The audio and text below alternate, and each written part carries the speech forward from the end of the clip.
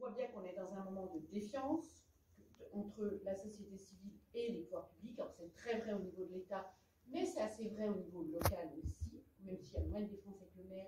Globalement, il y a un malentendu entre la société civile et les pouvoirs publics.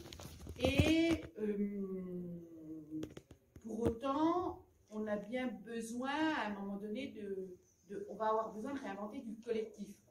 Et puis, ce que je voudrais dire aussi, c'est que, mais c'est pour ça que je parle de malentendu, c'est que il y a une partie de défiance et d'incompréhension, et oui, d'incompréhension, parce que c'est vrai que, euh, vous le disiez sur l'Europe, on ne parle pas le même langage, mais il ne faut pas non plus perdre de vue, et je trouve qu'on passe un peu trop par perte et profit, qu'il y a toute une partie de citoyens, une grande partie même, je dirais, peut-être même qui n'ont pas forcément envie de prendre la parole et de devenir euh, des alternatives, et qui s'en reposent quand même au pouvoir, sur les pouvoirs. Il y a une espèce d'injonction paradoxale, c'est-à-dire on ne veut plus de l'État, on ne fait plus très confiance, on ne veut plus des pouvoirs publics, État ou on ne fait plus très confiance, mais en même temps, on vous a donné le pouvoir, on a voté pour vous, débrouillez-vous. Enfin, moi je dis ça parce que ça m'est un peu, ça m'a un peu explosé au nez au moment de la crise des Gilets jaunes, où on a organisé dans la commune où je suis des ateliers, on a ouvert, euh, et, le maire avait, je suis adjointe, hein, avait indiqué, on ouvre, on crée des débats locaux, mais la consigne, c'est qu'on ne veut pas des débats théoriques, donc on veut passer des propositions locales. Et quand même, ce qui nous est revenu, on est dans une commune globalement participative, la commune mène un projet de réhabilitation d'un lieu participatif où les habitants, on a une démarche participative, bref, et ça se passe bien, il y a des gens qui viennent. Mais quand même, ce qu'on a entendu assez fort, c'est Ah, mais on a voté pour vous, vous vous débrouillez. Comme vous le disiez, madame, euh, comprendre d'où on part, il faut avoir en tête le chemin de transition. Et donc, avant de jeter par perte et profit la volonté, par exemple, le plan euh, de la Commission européenne et de dire c'est mal, ouais, ils partent de loin, c'est descendant, moi je trouve qu'il faut aussi regarder euh, d'où on vient et le fait qu'il y ait euh, une task force sur la sociale économie en Europe, on a bien besoin collectivement d'apprendre à faire ensemble.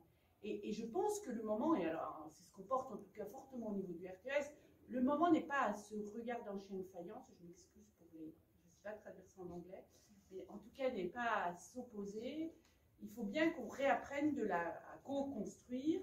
Co-construire, c'est pas juste consulter, c'est vraiment apprendre à refaire ensemble. Parce qu'en vrai, ni les uns ni les autres, on a de solutions face au, sujet. Et on l'a très bien vu localement face à la pandémie. Euh, en quelques jours, il a bien fallu apprendre à faire ensemble pour nourrir des personnes âgées les pour faire, plein de trucs comme ça. Euh, voilà, en tant que pouvoir public, on était bien mis au défi et aller chercher des. Et je pense qu'on le voit bien aussi, par exemple, pour accueillir des réfugiés ukrainiens aujourd'hui euh, dans nos villages, dans nos communes, tous les jours. On, apprend au téléphone voilà. Donc on est dans des sortes de périodes crash test quand même. Et, je trouve que les pouvoirs, les collectivités locales ont quand même un rôle important, mais qui, sera conditionné, qui réussira si on est dans une capacité de changer de posture totalement. C'est-à-dire de ne pas être en position de on décide, pas être dans une position de euh, on sait faire, ce qui n'est pas la posture naturelle des élus, je le reconnais bien volontiers. Hein. Mais, euh, mais par contre, je trouve que sur les territoires, il y a un vrai rôle d'animation, de mettre les acteurs ensemble autour de la table. Euh, de créer un autre imaginaire et donc d'aller voir des expériences. Moi, je trouve qu'en tant que collectivité locale, et on le fait, nous, d'aller voir des autres expériences, ce que font d'autres territoires sur des sujets, parce qu'il y a plein de gens, toutes ces initiatives de qui ont inventé d'autres choses déjà. Donc, il y a une vraie responsabilité d'amener tout ça, d'amener ce savoir-là. Et ça, c'est la capacité à faire complètement différemment. Et, la capacité aussi à, éduquer, parce que je pense que c'est une éducation à la prise de parole citoyenne. On organise, nous, on le vit aujourd'hui dans notre commune parce qu'on pense collectivement la gestion du lieu par la site. Sur les 25, à la Réunion, on est content. Et, mais, pour autant, il ne faut pas du tout en conclure en disant bah, personne vient. Non, il faut installer les choses dans la durée, puis il faut apprendre à deux personnes en plus, puis trois personnes en plus. Et puis il y a vraiment des gros défis pour recréer ce dialogue. Voilà, de cette participation-là, en tout cas, c'est ce que je vis, moi, dans mon quotidien professionnel. Où je, euh, et par exemple, euh, euh, il, est sorti un, un truc qui s'appelle les contrats de transition écologique. Bon, je sais qu'on peut dire que c'est des outils très techniques, on peut en dire beaucoup de mal, mais quand même, dans le texte fondateur de cet outil, qui est un texte du Premier ministre français, la participation citoyenne, la co-construction est inscrite Donc la volonté. Je ne dis pas que c'est ce qui s'est fait dans la première étape sur les territoires.